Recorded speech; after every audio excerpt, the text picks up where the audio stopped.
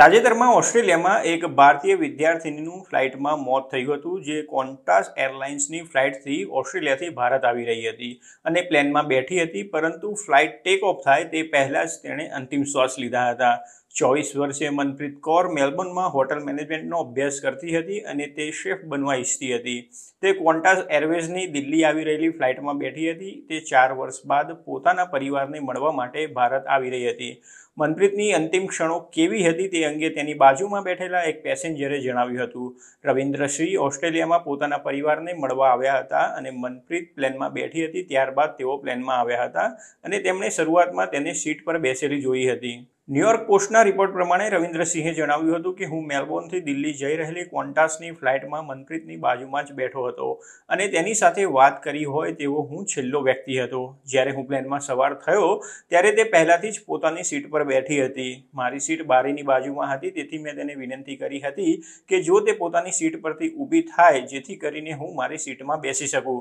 રવિન્દ્રસિંહે જોયું તો મનપ્રીત તેના ફોનમાં ફોટા જોઈ રહી હતી અને પ્લેન ટેક ઓફ થવાની રાહ જોઈ રહી હતી.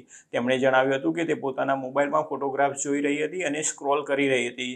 જ્યારે એક વૃદ્ધ દંપતીની તસવીર આવી ત્યારે તે અટકી ગઈ હતી. મેં તેને પૂછ્યું પણ હતું કે શું તે તારા માતા પિતા છે? તો તેના ચહેરા પર સ્માઇલ આવી ગઈ હતી અને તેણે માથું હલાવીને મને જવાબ આપ્યો હતો.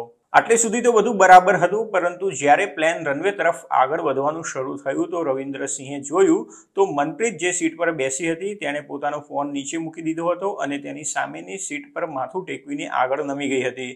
તેમણે કહ્યું હતું કે જ્યારે પ્લેન ટેકઓફ થવાની તૈયારી કરી રહ્યું હતું ત્યારે હું તેને સીધા બેસવા માટે કહેવા ઈચ્છતો હતો.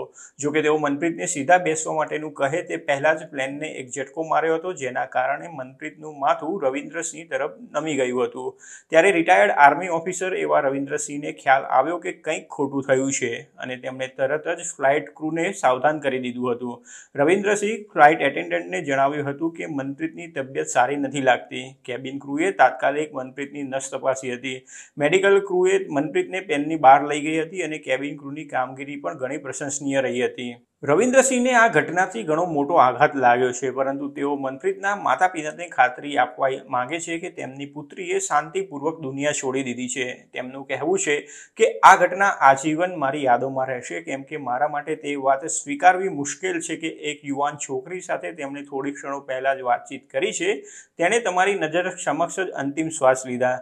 તેનો નિર્દોષ ચહેરો હજી પણ મારી આંખો સમક્ષ આવી જાય છે અને હું તેના માતા પિતાને કહેવા ઈચ્છું છું કે તે તમને ઘણો પ્રેમ કરતી હતી. તેણે તમારો ફોટોગ્રાફ જોતા જોતા શાંતિપૂર્વક આ દુનિયા છોડી દીધી છે. મને તે વાતનું દુઃખ છે કે તે લાંબા સમય બાદ પોતાના માતા પિતાને મળવા જઈ રહી હતી, પરંતુ તેનો પરિવાર તેને મળી શક્યો નથી. એક રિપોર્ટ અનુસાર મનપ્રીતનું પોસ્ટમોર્ટમ કરવામાં આવ્યું હતું, જેમાં સામે આવ્યું હતું કે મનપ્રીતનું મૃત્યુ ટ્યુબરક્યુલોસિસથી થયું હતું, જે એક ચેપી રોગ છે અને જે મોટે ભાગે ફેફસાને અસર કરે છે. મનપ્રીતની કઝિન અને રૂમમેટ કુલદીપ કૌરે ખુલાસો કર્યો હતો કે મનપ્રીત છેલ્લા કેટલાક મહિનાઓથી બેક્ટેરિયાથી વાયરસથી થતી શ્વાસની બીમારી સામે લડી રહી હતી અને તેના અંતિમ દિવસોમાં તેની તબિયત વધારે લથડી હતી.